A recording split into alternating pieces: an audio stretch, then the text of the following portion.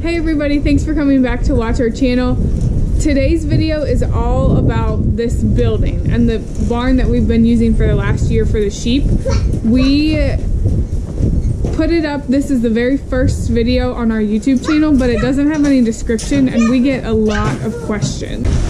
So now that we've been in this building for a whole year, there's things that we've learned, things that we like and don't like, and we're gonna kind of tell you all about the building, all the specs and everything, what it costs. Um, so I'm gonna turn it over to Levi in a second and he's gonna tell you all the technical stuff. But um, some things to note, we're gonna try to do a set schedule for videos in 2021. Every Monday and every other Friday, we're gonna do our very best to put a video out. Um, they'll be out at 12.30 p.m. those Mondays and Fridays and some of them will have blog posts to go with them on the website and some of them won't. So um, we hope you like them we get a lot of questions about it. A lot of people ask questions about it. So we just thought we'd give you some details. Uh, and one of the reasons we put the video up about this and kind of why we're doing this again is because there is no set of plans for this building. Meaning like we didn't really I, I, I searched forever about what we did in hopes that somebody had done something out there on the internet for it and I couldn't find anything. So uh, we just kind of wung it. So we're going to show you a little bit about what we did to wing it what we like about it what we don't like about it and uh, uh, if I were you what I would do different if you want to do something like this. All right so uh, talk a little bit about what we did I guess in the beginning. This actually uh, was not designed to be a barn. This was a high tunnel. Um, we had it for growing veggies. Uh, we had it for a short amount of time and uh, the wind took our plastic off of it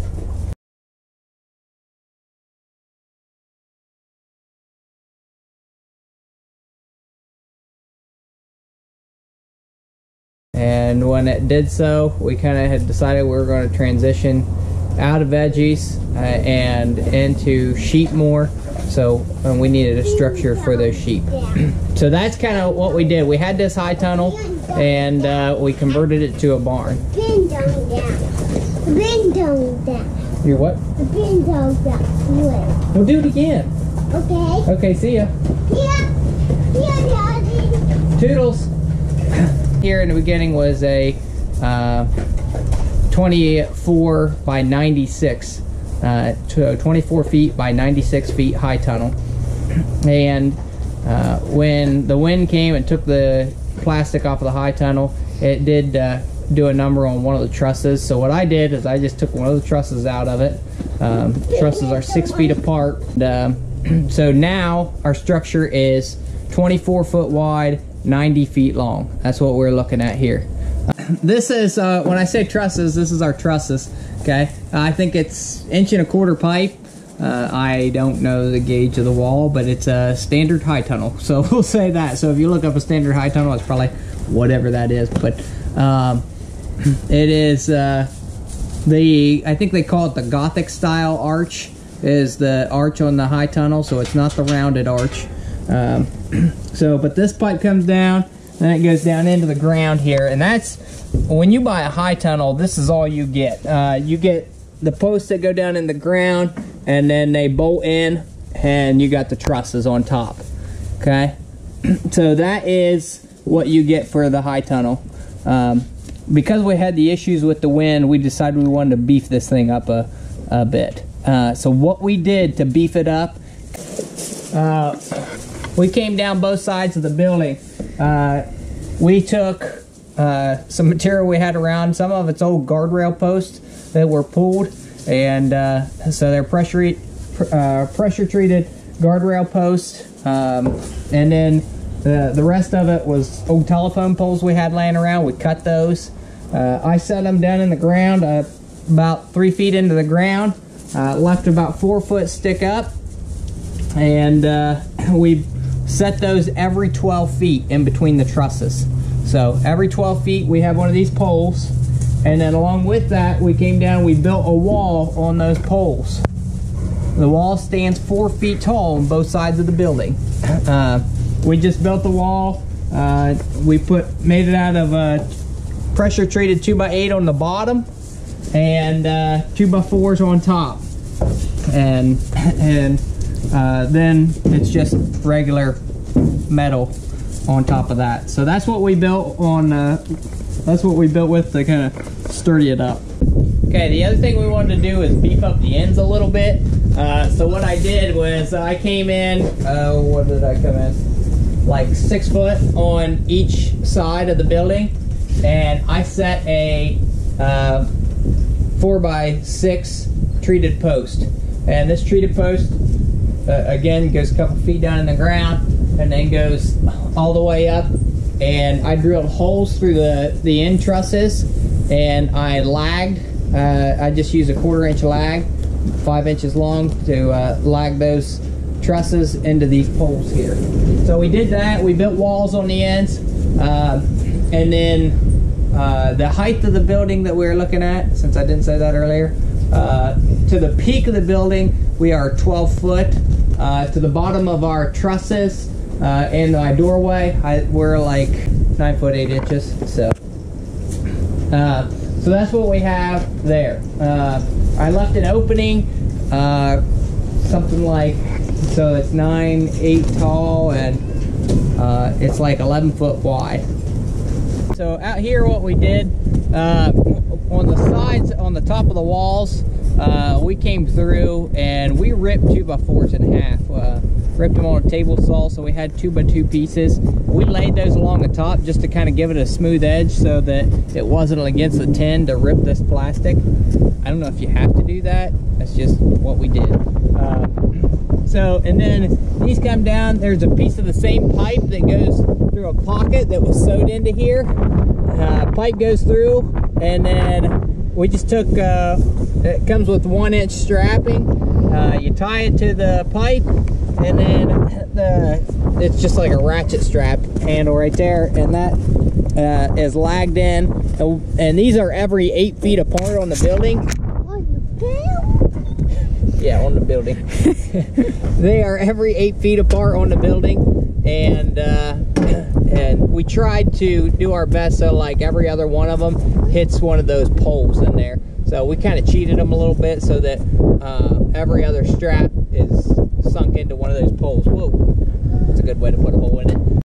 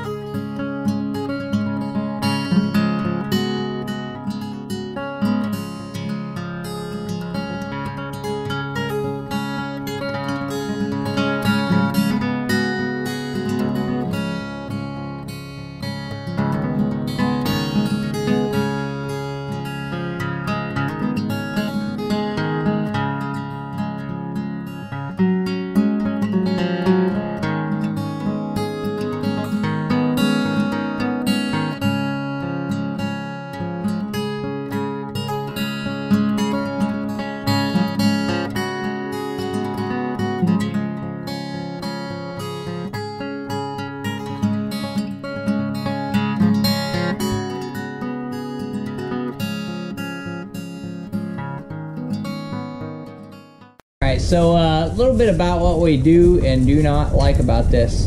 Uh, there's always things you do like and always things you don't like. So what we don't uh, like about this uh, building is the moisture. That's probably the biggest thing. Uh, it has a tendency to hold a lot of moisture in. It's not very well ventilated. Uh, this tarp does not let any air flow through it. That's for sure. So Uh, so it has a tendency to when it goes from uh, freezing to thawing. So in the wintertime when we're below freezing and we are and uh, go above freezing during the day, it, it will sweat in here. Um, and it will actually condensate and it'll rain in here. So I do not like that part. Uh, if we keep both ends open, there are doors on the other end that we can close. but if we keep both ends open, it does a lot better. Uh, lets the air flow through a lot better and it won't sweat as bad, but it still does sweat. So uh, as far as that goes, holding heat uh, or holding no moisture in, I don't like that. Um, the other uh, big thing that we do not like about this uh, is how hard it is to ventilate. We thought it would just be a matter of putting some fans up to kind of keep air moving through the winter or through the summertime to try to keep it cooled off in here. And uh, that was not the case. We hung fans in the rafters trying to vent it. Really needed more power. Uh, so uh, it's doable. You can put fans in there, but it's pricey to get it to vent correctly. Uh, the other thing we don't like about it, uh, because uh, of the moisture situation and us trying to keep air flowing through here all the time, it also is cold in here. With the ewes, it's okay. Uh, they can handle the cold, that kind of stuff. It still breaks the wind at, enough that they got a place to stay out of the shelter, that kind of thing. So for the ewes, it's fine. But come lambing time, uh, this is not a good place to lamb in the wintertime uh, because of all the moisture and trying to keep it warm in here and that type of thing. so we don't like that about the building. Uh, probably our number one thing we love about this building is the light. I mean, when you're out here, eh, it doesn't matter what you do. I mean, even if it's a cloudy day, uh, it is just it's daylight in here. You know, it's if it's light outside, it's light in here. So there's no uh, lights on in this building or anything like that. Matter of fact, we rarely use the lights that are in this building, uh, just because it's always so daylight in here. And so, you know, that may not seem like that's that big a deal, but when we're working sheep in this building, man, that is nice because it's not like, you know, when you're working a sheep, you got them in an alleyway or down in a chute or something like that, and you need to do something with them. You know, you block the light in a regular barn, it's dark down there, it might be hard to see, but in here, you can see what you're doing. Along with the light and and uh, moving through the chutes and stuff like that, the sheep don't see their shadows, so they move really nicely in here. Um, and that so that's nice. Uh, another thing I wish we would have done, I didn't find this out until later, uh, but when uh, when we before we put this tarp on, the one thing I wish I would have done is I wish I would have taken rope. I saw this somewhere else suggested where you would take rope and tie it like right up here, uh, and then cross it over two trusses. So I like I would come over here, up over the top, and tie it again. And then I would make an X with that rope. What that would do is that would, this space, this six foot space in between the trusses, that would alleviate some of that uh, kind of sagging a little bit. It does have a tendency to sag just a little bit in there. Really, it's not a big deal.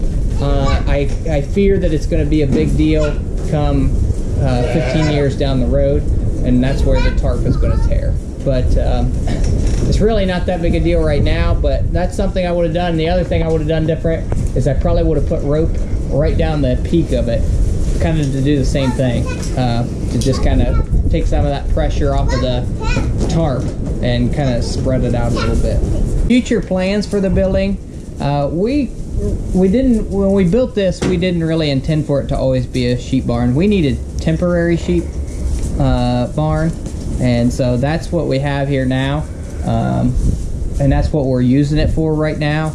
We do have intentions of putting a barn up for animal use in the near future that would be more desirable for animal use. Uh, so that is our intentions with this for the long run. Once we do that this barn will become primarily hay and equipment storage. And so when it comes to that, it's going to be perfect for that because it's big, it's wide open, uh, it's got plenty of space, and uh, most of those things we talked about as being issues aren't going to matter that much. How much does this building cost? Okay. Uh, well, I guess I'll start from the beginning. We bought the high tunnel used, so and it didn't have any plastic with it. So, but it came with most everything else, uh, even the wood on the sides and th- stuff like that. That was all with it. So when we bought the high tunnel used, I think we paid like 800 bucks for the used frames and everything that goes with it. Uh, we put it up ourselves. I didn't hire anybody to do that, so I didn't factor in labor. I honestly I don't remember how many hours I had in building the thing. Now we had a lot of family that helped us in in building it. It wasn't like we did it ourselves completely because honestly I'm not that skilled and talented, but I have a lot of family who is. Lucky me. So uh, they helped us do that. We put the structure up. Uh, as far as uh, the tarp itself, I don't remember the exact dollar value. I'm thinking we paid 3200 for the tarp is what we paid. Uh, so we paid $3,200 for the tarp. Um, and then I think we had 500 bucks in miscellaneous, the, the metal and extra poles and that kind of stuff that we had. A lot of the guardrail posts and stuff was just stuff that we had laying around. So, and that's what we use. So we really have about $4,500 in this building. Um, is it that great? Uh, honestly, I don't know. Uh, I can tell you that I probably would not go out and try to find a uh, high tunnel or greenhouse to turn into one, a building like this, and, and think that's a great deal. Uh, if you find one that's free or something great like that, or some real great deal, yeah, it's probably a good deal. Uh, if you can uh, buy, if you wanted to buy a new clear span building, that would probably be a different story as well. But um, as far as uh, doing it, I would probably, you know, if you're one of those individuals that's like us, where you had the greenhouse around or the high tunnel around, and you wanted to make that switch, that's probably okay. I, I, I think it was a worthwhile venture, I'm satisfied in in that regards. But if I were going to try to build a new structure the same size and everything, I probably would have just went ahead and built uh, a pole barn. Thanks for tagging along, everybody, and and, and checking this video out. Uh, as I said in the beginning, kind of part of the reasons we wanted to do this video and, and why we started our initial video with uh, actually putting the tarp on, which you saw a little bit of that in here, uh, is that this no nobody had this out there when we went to start this, and maybe there's people that have it out there now. I don't know, but it was just something we wanted to do to, to convert a high tunnel to a barn and we wanted to experience it and see what it was and we thought some people would have some information out there but we wanted to throw it out there. If you have questions about it don't hesitate to call or don't call us. If you do have questions don't hesitate to comment below ask we, we'd be happy to help with that or answer anything you know or any questions you might have related to this That's it for today. If you guys have questions or comments, make sure you put them in the comments below, and we'll get them. We'll get back to you. Um, and if you guys have ever done anything like this, like a DIY project on your own farm, tell us about it because we're always looking at things and looking for things that we can do to improve and do them kind of ourselves. So we'd love to have those ideas. Thanks for watching, and we'll see you guys next time.